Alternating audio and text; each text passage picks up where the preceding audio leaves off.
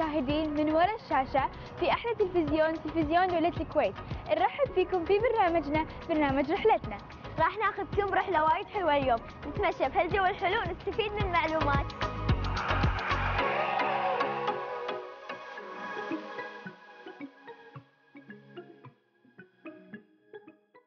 تعرفين حور أن حديقة الحيوان تعتبر مكان ترفيهي عام لجميع الفئات في المجتمع ويكون فيها أكثر من نوع من الحيوانات. إي صح ملك. ويحطون هذه الحيوانات بقفص خاص لهم. أو مكان خاص يحطونهم فيه. شوقنا ان إحنا ناخذ جولة داخل حديقة الحيوان؟ بس إيش رأيك حور ان إحنا نفتح الإنترنت ونبحث أكثر عن حديقة الحيوان وأقسامها ومن شنو تتكون؟ إيش رأيك؟ أوكي. يلا.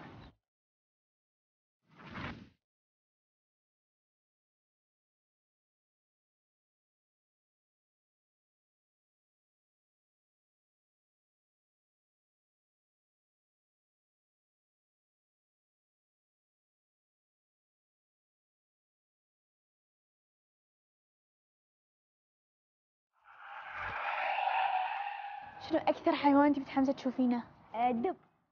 أنا عن نفسي بشوف الأسد وهم أنا بشوف القرود والشمبانزي. آه أنا بشوف نمر بما أن أنت تحبين الدب قاريه عنه من قبل ولا ليش يعني حبيتي الدب؟ شوفي أنا حبيته عشان لونه لأنه لونه أسود أبيض. صح في. منه وايد ألوان. صح صح وايد حلو. صح. أنا عن نفسي بشوف الأسد. ما أدري ليش. أحس أحس يخرع. أنا أخاف من الأسد. يعني أقول لك الصراحه اخاف من إيه. الاسد بس يعني شكله حلو إنك تلعبين معاه حلو. إيه إيه بس إيه. إذا كان وايد شرس يعني أكيد أكيد. صح صح. أنت ما قلت لي شو تحبين بعد؟ قلت لك الأسد. أبي أشوف الشمبانزي. إيه أحلى يسوي؟ يسوي كذي حركات. إيه أحلى شيء هذا. متحمسة تشوفين القرود؟ قرود؟ اي هم القرود أنا متحمسة. متحمسة أشوف كل الحيوانات اللي هني. يلا خل نروح. يلا يلا.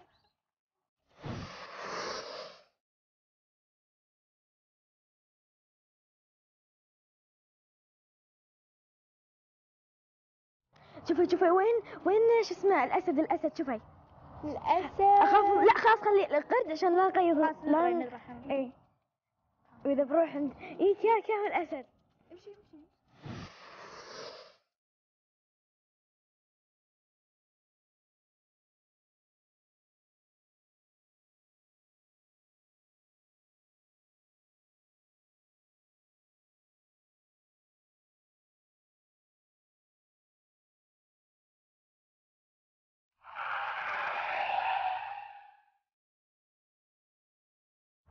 تدرين إن ملك الغابة يسمى ملك الغابة لأنه هو من أقوى الحيوانات اللي في الغابة؟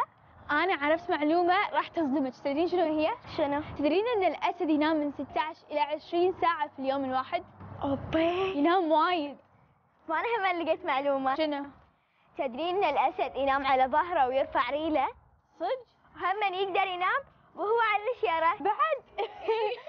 أنا عرفت بعد معلومه شنو؟ تلد الأنثى الأسد من اثنين إلى ثلاثة اشبال في مرة واحدة وتولد أكثر من مولود بنفس الوقت أوبي شلون إيه. مولود بنفس الوقت؟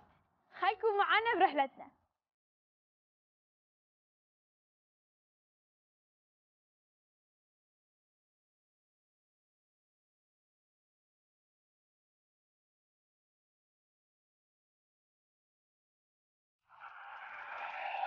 وصلنا معكم أصدقائنا إلى لقائنا مع الأستاذ جابر الفارسي أحد الإداريين في حديقة الحيوان. اليوم أنا وصديقتي حور العين عندنا وايد أسئلة ووايد متشوقة إن أنا أسمع الأجوبة. أول سؤال شنو هي الاستراتيجية المستدامة للحديقة وشنو هي الخطط المستقبلية لتطويرها؟ في البداية نرحب بالإخوان في برنامج رحلتنا ونشكرهم على الحضور آه، لابد أن نذكر نبذة تاريخية عن حديقة الحيوان حديقة الحيوان تعتبر الحديقة هذه المثالية في الدولة. أسس تاريخ الحديقة ترجع إلى الشيخ آه، آه، عبد الله جابر الأحمد الصباح رحمه الله. كانت عنده مجموعة من الحيوانات في منطقة سلوى.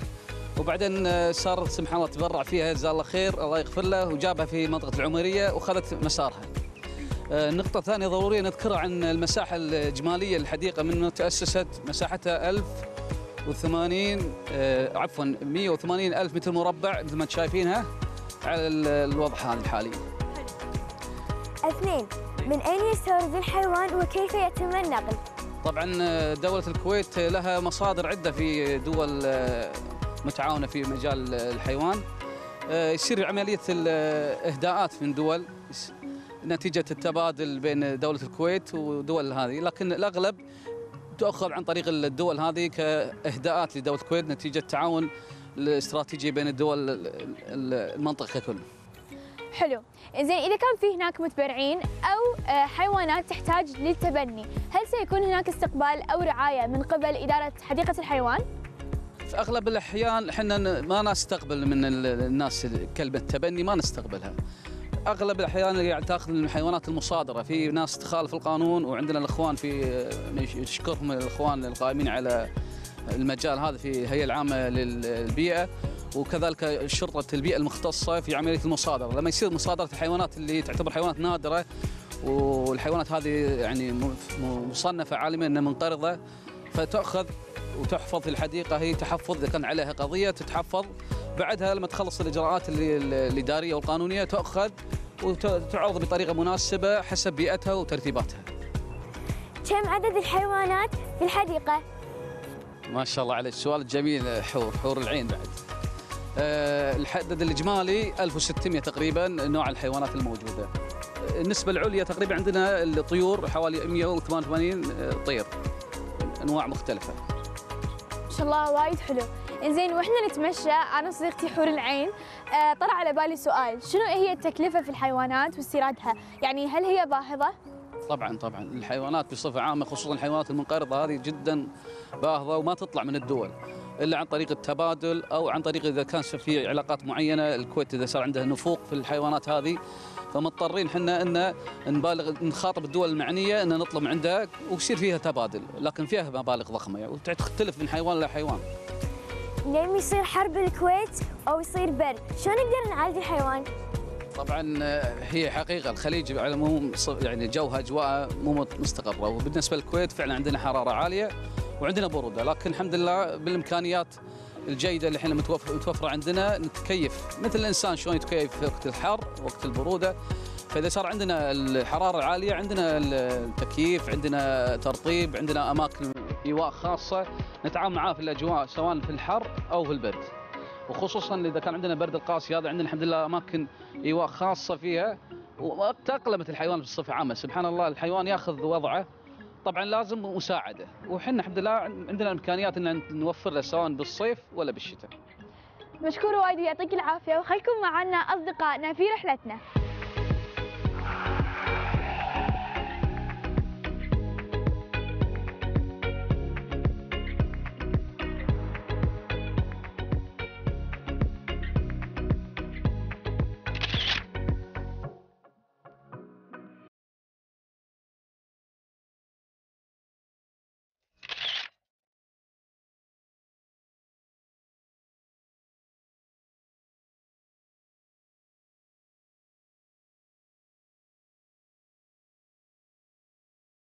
يعتقد البعض أن القرود بس تاكل موز لا هذا شيء مو صحيح. تاكل موز وتاكل لحوم. تاكل ورود و, و... شو اسمه؟ اسمه اللحوم؟ إيه صدق أول مرة أعرف هالمعلومة. لا وايد ناس قالوا عنها شيء تدرين عاد أنا قريت معلومة بعد. عرفت أن القرود ممكن تصاب أمراض آه، مثل التهاب الكبد والسل بعد. القرود لا تصاب بالبرد ابدا. صدق؟ إيه وبعد أنا عرفت معلومة. خليني أقول لك إياها. تدرين أن يتم تدريبهم على غسل الأطباق وفتح الزجاجات وهم يقدرون يفتحون الميكروويف. لا هذه أنا ما سمعت عنها. إيه؟ القرود يقدرون يسوون نفس البشر؟ إيه تخيلي يتم تدريبهم. يلا خلينا نعرف معلومات زيادة. يلا يلا.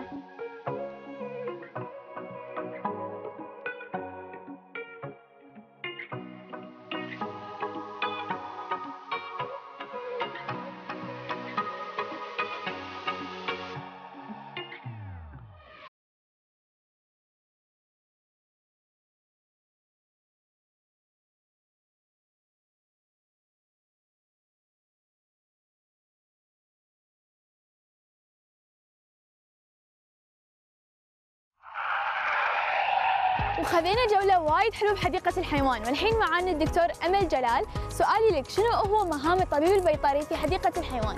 هو أهم حاجة مهم الطبيب البيطري الاعتناء بالحيوانات. الحيوانات اللي عندنا هنا يعتبر ثلاثة جروبس حيوانات جاهزة للعرض على طول ودي اللي هي الموجودة في الأقفاص أو الحظائر الموجودة بتاعتها. في حيوانات بيبقى فيها بعض المشاكل المرضية فدي موجودة في المعزل. وفي حيوانات بتجيلنا من خارج الحديقة اللي هي تبقى مصادرات أو في آه، في الجمارك أو ممسكوكه ضالة في الشارع ودي بنتعامل معاها بقطاع خاص. بالنسبة هنا للحيوانات اللي هي الموجودة في الحديقة جاهزة للعرض دي جست إحنا بنراعيها كل يوم ملاحظة للأكل والشرب النظافة بحيث إنها تبقى جاهزة للعرض. الحيوانات اللي هي بتبقى فيها مشاكل مرضية بعضها بنقدر نعزله في مكان خاص بالعيادة وفي بعض عشان دي حيوانات برية صعب إن لو عزلت واحد عن القطيع ممكن من التوتر والقلق ممكن يموت. فبالتالي بعزله بس في ظهر حيوانات العرض. فالحيوانات التانية بقى اللي هي بتيجي تعتبر من خارج الحديقة نتيجة لمصادرات في الجمارك أو نتيجة حيوانات برية ضالة دي بناخدها عندنا في المحجر نحطها تحت الملاحظة إلى أن تثبت خلوها من أي أمراض معدية أو مرا- أمراض مشتركة. بعد كده إما ندمجها أو نشوف ال- الوضع القانوني بتاعها إيه ونبدأ نتصرف على هذا الأساس. شنو المشاكل اللي دائما تواجهونها بالحيوانات؟ هو طبعا هنا الحيوانات المشاكل تبقى دايما الحيوانات اللي هي المعروضة مشاكل في الجهاز الهضمي آه، عدم الأكل بعض نقص الأملاح المعدنية والفيتامينات تغيرات الفصول ودرجات الحرارة دي كلها بتغير على الحيوان إلى جانب إحنا هنا عندنا حيوان بري وليس حيوان مستأنس. الحيوان البري برضه بيبقى ليه معاملات خاصة من ناحية التوتر العصبي بتاعه من ناحية كتره بص عد- عدد الزوار الكتير ممكن يعمل له توتر وقلق. آه، ال weekend برضه في ناس بتأكل كتير نيجي تاني يوم إحنا في بعد ال weekend لازم نخلي بالنا إن الحيوان كال كتير فبنقلل الأكل شوية. نبدأ نلاحظ التغيرات في الطبيعة أو السلوكيات بتاع الحيوان. حلو. زين أنا بعد عندي سؤال. آه، هل يكون في هناك بطاقات آه، تطعيمات حق كل حيوان وفي تدوين أدوية حق كل حيوان؟ عندنا هنا نظام العمل في الحديقة في حاجات اسمها إجراءات دورية. الاجراءات الدورية دي اللي هي تطهير الأقفاص بصفة دورية مثلا كل شهرين ده الروتين ورك وفي بعد كده عندنا التحصينات ودي بتبقى على مرتين في السنة كل أربع شهور. بعد كده مقاومة الديدان ودي تبقى كل ثلاث شهور. بعد كده عندنا أملاح الفيت... أضافات أعلاف وأضافات غذائية ودي بنعملها مثلا على حسب تغير المناخ والطقس في الجو فبنعملها على الأقل مثلا كل شهرين أو حاجة زي كده على حسب سلوكيات أو ظروف الحيوان اللي موجود والجو اللي هو عايش فيه. شنو النظام اللي دائما تسوونه حق الحيوانات؟ مثل تواكلونهم تغسلون لهم طبعا إحنا عندنا طبعا حيوانات برية فلازم الأول نبقى عارفين هو في طبيعته البيئية الطبيعية اللي بيعيش فيها بياكل إيه. فبنحدد إحنا كميات الأكل اللي هو عاوزها على حسب وزنه وعلى حسب عمره وعلى حسب حالته الصحية. الكميات والنوعيات. بنبدأ نديله هذه الكميات على وجبتين الصبح وآخر النهار بحيث إن هو الحيوان يعيش أقرب ما يكون إلى بيئته الطبيعية. فطبعا عندنا حيوانات مختلفة. كل حيوان فيه هنا أكلات اللحوم. يبقى مش هنأكلهم أعشاب ياكلوا لحوم. في عندنا أكلات الأعشاب وفي عندنا مختلط ما بين الاثنين اللي هو زي القرود وزي الدببة اللي هو يعتبر تبع الفصيلة بتاعت الكلاب اللي هي بنسميها كارنيفرا أو أكلة اللحوم. فبيختلف الأكل طبعا الطيور ليها أكلها لوحدها.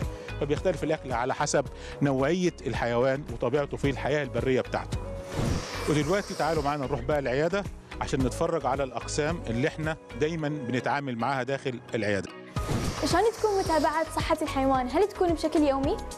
طبعا الحيوانات المتابعة الطبيعية أو الدورية دي شكل يومي دي بنقسم جزء مننا إحنا مرور على الحيوانات بعد كده بناخد ملاحظات اللي هو الكيبر اللي هو اللي بيراعي الحيوانات اللي بيقدم الرعاية الأكل والشرب والحارس بتاع الحيوان بناخد ملاحظاته لو أي تغير في السلوك أو تغير في الوظائف الحيوية. الحيوان ما بياكلش كويس الحيوان ما شربش الحيوان واخد جنبه بعيد. أبدأ أنا أتصرف لأن دي بتبقى أولى العلامات إن في عندي مشكلة أقدر إن أنا أتصرف بعدها. بعد كده الحيوان لو ساعات بيحتاج علاج داخل الحظيرة لأن إحنا دي حيوانات برية فلازم فصلها عن القطيع ساعات بيبقى stress أو توتر أكتر من وجودها للعلاج. فبنعالجها داخل الايه؟ الحظيرة. بعضها بيجيبوا بقى هنا عندنا في العيادة لو كان في جرح نخيطه لو كان في مثلا اللي هي بيسموها إصابات الرديه نتيجة للجري نتيجة لخبط في سور ولا حاجة. إذا كان في كسر إذا كان في خراج بعض العمليات البسيطة ممكن نعملها هنا في غرفة العمليات دي بسميها البولي كلينيك اللي هي يدخلها أي حيوان. طبعا عندنا أنتم شايفين ترابيزات عمليات وهي ترابيزات الغيار. عندنا مصدر للإضاءة وده الموتور اللي إحنا بنطهر بيه كل الأقفاص تقريبا دوريا كل شهرين ولو في عندي مشكلة ظهرت بيبقى على طول بيبقى كل يوم ويوم لغاية مدة أسبوعين. هل يكون في هجوم من قبل الحيوان؟ أي. طبعا إحنا بنتعامل مع حيوان بري فلازم نبقى عاملين حسابنا من الأول إزاي أنا أقرب منه. فعندنا التخدير والتخدير ده بيبقى فيه مهدئات وفيه منومات على حسب درجة التعامل اللي أنا داخل عليه على الحيوان أقدر أحدد الجرعة ونوع الدواء اللي أنا أهديه أو أنيمه بيه. ما صار معاكم موقف يبكون يعني بعض الحيوانات بيبقى بان عليها أعراض الزعل بالذات الشمبانزي بيبان عليه أعراض الزعل جامد اللاما الجمل دي بتقدر نشوف اللي, اللي هو يسموها التعبيرات الوجه بتاعها. آه أكتر. نصرخ ما عندك موقف صار طبعا لا ده إحنا لو عندنا الشمبانزي بيتر لو شاف البلطو الأبيض بيصرخ ويرمينا بالبطاطس ويرمينا آه طبعا لأنه هو دايما خد experience أو خد خبرة إن أنا داخل يا إما هدي له علاج يا إما هدي له حقنة فبيخاف مني. عشان كده لما بدخل له للفحص العادي بسيب البلطو بتاعي بره. دكتور إذا الحيوان ما ينطق ولا يتكلم شلون تعرف تعرفون المرض اللي فيه؟ ما هي دي بقى مهمة الطبيب البيطري إن هو بيتعامل مع حيوان ما بيتكلمش. مشكلتنا هنا في الحيوانات اللي هي في الحديقة تعتبر حيوانات برية. ده ممكن الحيوان يداري الألم عشان ما يبينش إنه ضعيف. لو الحيوان آه لو الحيوان باين إنه ضعيف في الحياة البرية الطبيعية هيحصل إيه؟ يفترس من حيوان آخر. فبالتالي يحاول إنه يبان إنه قوي. ودي مشكلة. فلازم إحنا نكون ملاحظين لبعض التغيرات الفسيولوجية اللي هي بتبان على الحيوان. مثلا من أبص على الحيوان من لون العين. أبص على الحيوان من الشفايف بتاعته إحنا بنسميها الخطم أو ال nostril بتاعته لو كانت wet أو dry أبص على الحيوان من الحركة بتاعته. فبقدر أستنتج من التغيرات في الصفات الطبيعية إنه عنده مشكلة. لأن كتير قوي حيوانات ما تبينش الأعراض لانها بتخاف إنها تبقى إيه تفترس من حيوان تاني. لأن مهما عملنا إن إحنا حضرنا الحيوان بيئته الطبيعية مش هتبقى زي البيئة ومش هنغير في صفاته إن هو حيوان بري. فدي حاجات موروثة داخل الحيوان. يعني تقدرون تفهمونه بسهولة؟ طبعا لازم مع كتر متابعة. أول مرة أعرف هالمعلومة. وايد انصدمت وايد الحيوان آه آه آه. الحيوان حيوان بري. مهما حصل يعني عندنا الثعلب نيجي نأكله ياخد الأكل ويخبيه. لأنه هو اتعود على كده. آه تعوده ده حياته طبيعية. حابة أعرف بس وين تسبحونهم طبعا التسبيح هو الحيوان. طبعا إحنا عارفين الحيوانات البرية دايما هي بتهتم بنفسها أكتر. لكن إحنا عندنا أهم حاجة إن إحنا السراوندنج بتاعهم اللي هو البيئة المحيطة بتاعتهم تبقى نظيفة. فبالتالي مش هيتوسخ.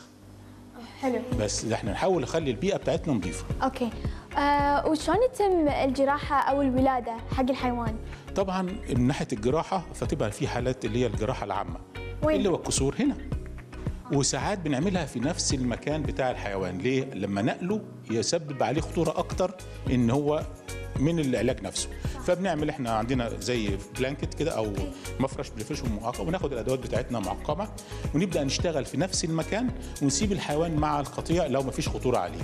لو الحيوان فيه خطورة عليه بنبدأ ناخده مع اثنين أو ثلاثة من القطيع في العزل اللي هو خلف الحظيرة الأساسية بتاعه الحيوان. لو العملية كبيرة بقى بندخله هنا أو نتعاون مع أي مركز تاني يكون متخصص ودي ما بتحصلش إلا نادرا يعني لأن هنا الحيوانات بتبقى تحت رعاية كاملة وملاحظة تامة طول الوقت. دكتور أنا عندي سؤال واحد بساله مسكروا حديقة الحيوان فترة كورونا شلون كان وضع الحيوانات؟ طبعا إحنا كان اهمنا في الفترة دي طبعا إن إحنا نتبع كل التعليمات اللي هي كانت بتصدر من وزارة الصحة والجهات المعنية إن إحنا نحافظ على سلامة الأفراد الموجودة وتطبيق كل الاحترازات للحيوان. ثانيا كان عندنا اهتمام خاص بالحيوانات اللي هي اكلات اللحوم لأن قالوا ان الكورونا بتيجي في أكلات اللحوم. فاحنا برضو اللي هو النمور والأسود والثعالب والحاجات دي كان دايما عينينا عليهم علشان نلاحظ أي تغيرات في السلوكيات أو تغيرات لأعراض مرضية تدل على احتمال حدوث مثل هذه الإصابة.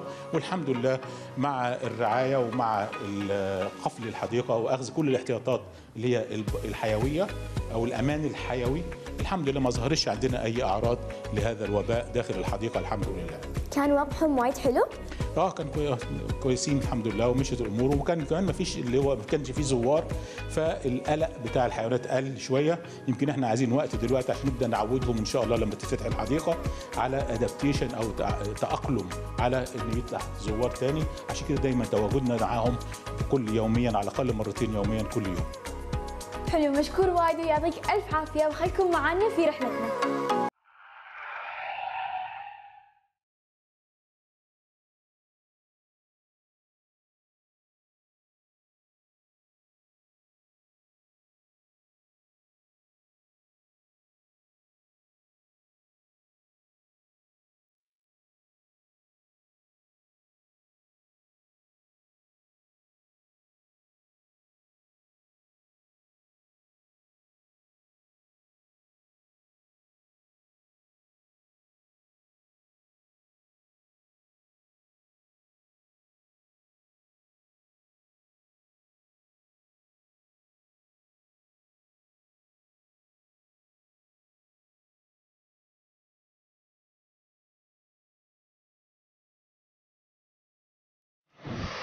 معلومات وايد حلوة عن الزرافة. تبين تعرفينها؟ إيه.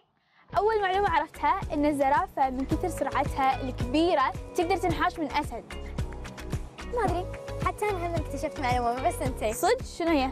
إن الزرافة إذا حست بالخوف تصرخ بقوه ما عندها. صدق؟ إيه؟ أول مرة أعرف هالمعلومة لأن اللي عارفة لأن دائما الزرافة ساكته ما تسولف. كل لا تصرخ بصوت عالي.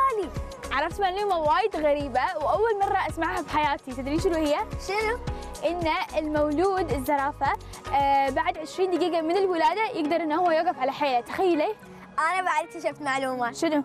إن بعد ساعة من الولادة المولود راح يقدر يركض. أوه معلومتك قريبة من معلومتي. أنا أول مرة أسمع إنه راح يقدر يركض. إيه حتى أنا وايد انصدمت. شلون؟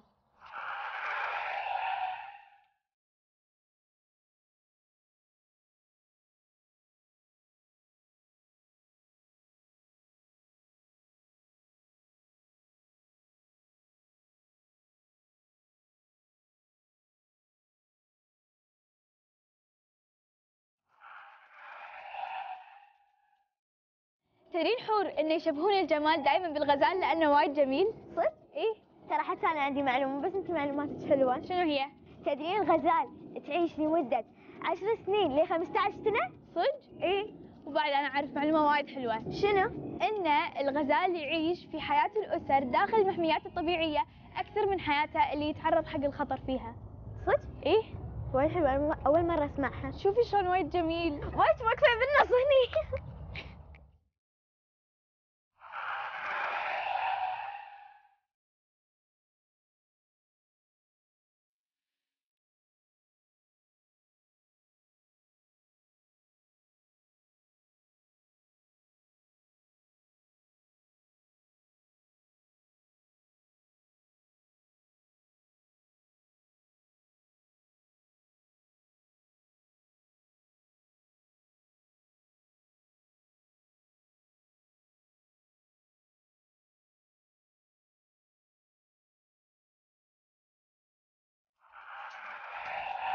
اليوم كان وايد جميل وايد استانست مع الحيوانات. حتى أنا أهم شيء نصور معاهم. إيه وايد استانست على الأسد وعلى القرود. أنا وايد استانست يوم رحت عند الأسد لأنه قاعد يلعب معانا. إيه صح. وهم استانست على الزرافة والغزال الغزال وايد حلو. واي شلون يمنا يوقف نص اللقاء. وهم من اللقاءات وايد استفدنا منها معلومات. يعني أنا. أول مرة أسمع هالمعلومات عن حديقة الحيوان. صح. وهذه كانت رحلتنا اليوم ونشوفكم في الحلقة القادمة. ورحلة القادمة. مع السلامة.